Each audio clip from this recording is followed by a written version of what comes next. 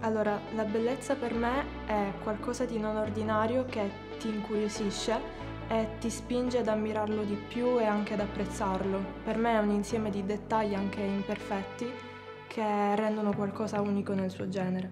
Have you ever walked the high pass, watched the northern lights flash, took a photograph on a Paris street?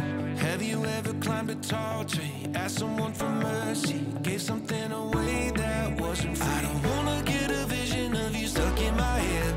I know that